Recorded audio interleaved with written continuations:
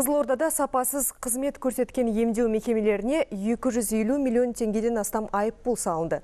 Әлеуметтік медициналық сақтандыру қорының өңірлік бөлімшесі биыл алғашқы жарты жылдықта 65 медициналық ұйыммен келісім шартқа қол қойған.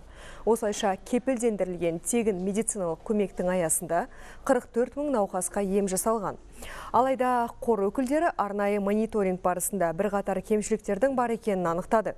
Мәселен, емханалары сау адамдарды емдеп, науқастарды тіркеу кезінде қателіктер жіберген. Осындай заң бұзушылықтардың ұзын ырғасы 3 мыңнан асады. егер медицина мекемелерінің осындай жіберген ауытқушылықтары бұзушылықтары әлдеқайда көп болатын болса біз келісімшартты бұзып ол мекемемен қош айтысуымыз да мүмкін.